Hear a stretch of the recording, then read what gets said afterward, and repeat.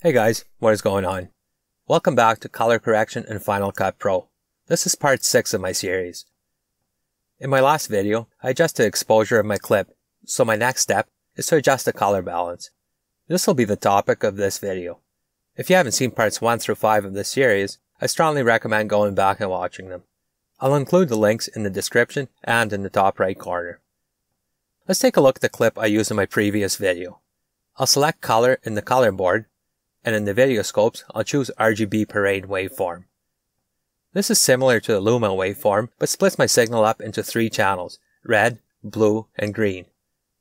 Anything that's color neutral in the video, meaning anything white or any shade of gray, should have equal amounts of red, green, and blue colors in it.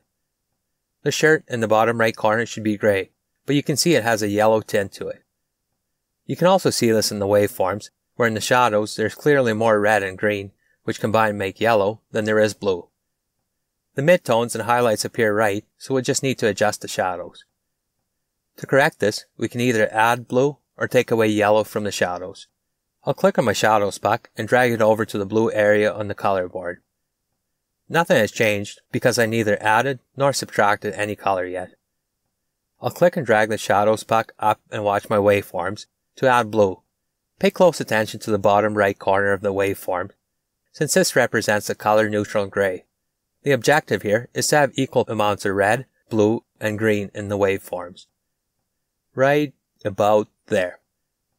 I'll press Command Z to undo this correction, and Shift Command Z to redo it to toggle this effect off and on. Let's take a look at another clip and try this.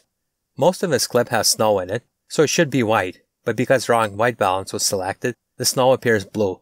You can see it in the image and in the waveforms. So to correct this, we can either take away blue from the clip or add blue's complementary color, yellow. I'll click on the global puck, drag it over to yellow, and drag it up. Not really the look I'm going for. To undo any correction, simply click on the puck and press the delete key. I want the sky, which is midtones in this clip, to stay the way it is, so I'll only adjust the shadows and highlights. This seems a bit better. I'll also adjust the exposure to bring my highlights down a bit and give it some deeper shadows. To toggle this effect on and off, you can go back to the inspector and toggle the color correction checkbox to see the before and after images. So, with the exposure and color balance adjusted, the last step is to adjust color saturation. We'll take a look at that in my next video. Hit the subscribe button and turn on notifications so you don't miss it. Likes, Comments and shares are always appreciated, along with any kind of feedback. Thanks for watching, and I'll see you next time.